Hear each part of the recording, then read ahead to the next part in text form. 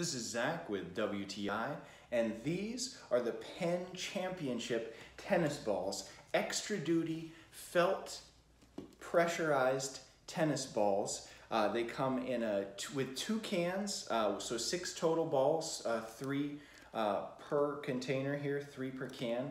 Uh, these are just a great uh, tennis ball to use. me, we play tennis a lot. I play, I try and play at least once or twice a week, and this has been just a great solid ball to use.